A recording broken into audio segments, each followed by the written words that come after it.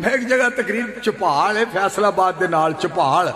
ਇੱਕ ਬੇਲੀ ਨੇ ਮੈਨੂੰ ਸਾਗ ਖਵਾਇਆ, ਜਨਾਬ ਵਿੱਚ मैं तकरीर करा अल्लाह का करम हो गया रब की नजरे करम हो गई मैं हथा पढ़न लग पाया तो बंद उची आवाज़ न कहता शेरे पंजाब नहीं बोलता मक्खन तो साग बोलता है